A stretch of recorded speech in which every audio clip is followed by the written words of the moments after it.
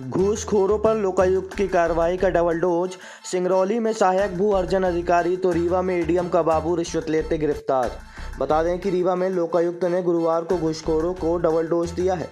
एक ही दिन में दो कार्रवाइयाँ की हैं। सुबह सिंगरौली में सहायक भू अर्जन अधिकारी और शाम को रीवा के कलेक्ट्रेट में दबिश देकर अपर कलेक्टर के बाबू को पैंतीस सौ रुपये की रिश्वत लेते पकड़ा गया है। तीनों आरोपियों के खिलाफ भ्रष्टाचार निवारण अधिनियम के तहत मामला दर्ज कर कार्रवाई की गई है।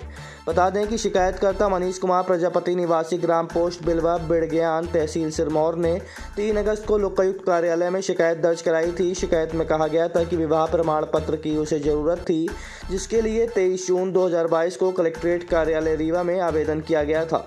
आवेदन के बाद उसका विवाह पत्र जारी नहीं किया गया। विवाह प्रमाण पत्र बनने के बदले अपर कलेक्टर शैलेंद्र सिंह के बाबू आशुतोष मिश्रा छः हज़ार रुपये की डिमांड कर रहा है। रुपये न मिलने पर आवेदन निरस्त करने की धमकी दी जा रही थी, जिसकी शिकायत की सत्यता किए जाने के बाद लोकायुक्त ने कार्रवाई करते हुए बाबू आशुतोष मिश्रा को पैंतीस सौ रुपये की रिश्वत लेते रंगे हाथों कलेक्ट्रेट में गिरफ़्तार किया है।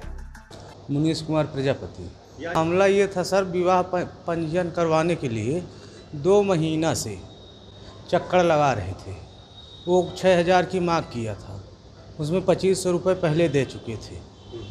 वो काम नहीं कर रहा था इसलिए हमको विवश होकर यहाँ लोकायुक्त में शिकायत करनी पड़ी। ये कौन थे जो मांग रहे थे आपसे पैसे? आशुतोष मिश्रा रीडर अपर कलेक्टर शिकायत करता है श्री मुनीश कुमार प्रजापति के पश्चात भी मेरा प्रमाण पत्र नहीं बना के दिया जा रहा है। उसकी एवज में एडीएम साहब के बाबू श्री आशुतोष मिश्रा जी छः हज़ार रुपये की रिश्वत की मांग कर रहे हैं। बाबू को रिश्वत राशि लेते हुए रंगे हाथों ट्रैप किया गया है।